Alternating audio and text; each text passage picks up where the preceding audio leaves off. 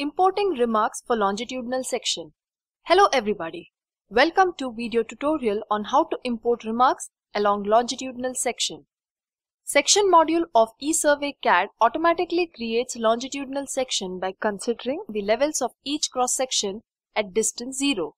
We can import or create cross sections but we cannot import data to longitudinal section directly as longitudinal section always gets created automatically.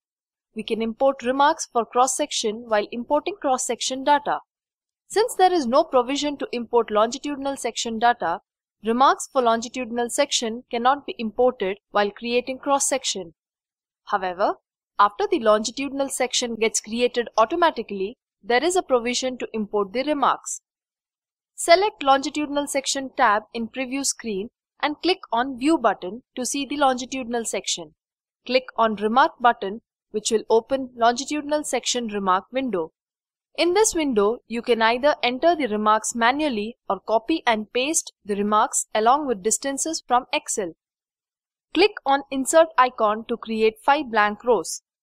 Enter the distance and remark or copy and paste distance and remark from Excel. After entering the data, save the same and close the window. Now, if you regenerate the longitudinal section by clicking View button, you may note that remarks are appearing in the longitudinal section drawing at specified distance.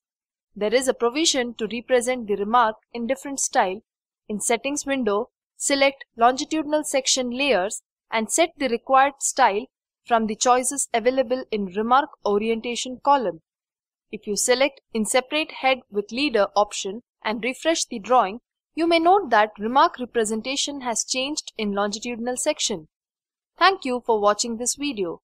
In the next video, you will learn how to modify the cross sections graphically.